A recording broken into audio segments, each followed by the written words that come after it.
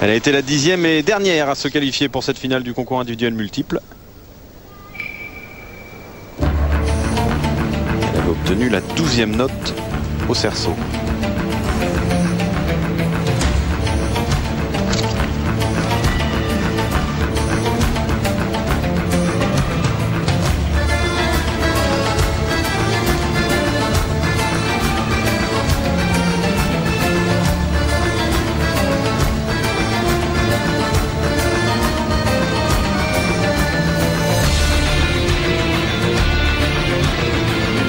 Elles sont assez grandes, hein, ces gymnastes.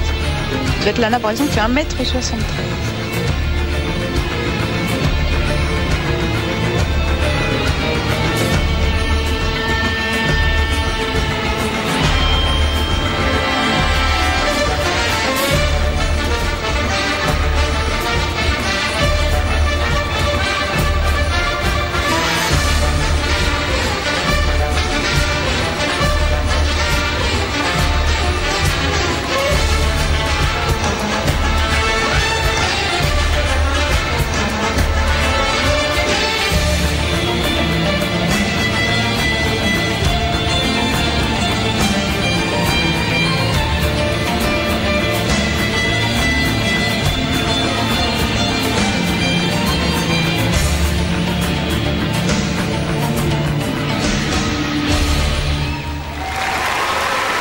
Avec un dernier lancé peut-être un petit peu plus compliqué, mais là encore, techniquement, hein, c'est un petit peu moins abouti que ce que nous font euh, Tchatchina ou Kabaeva.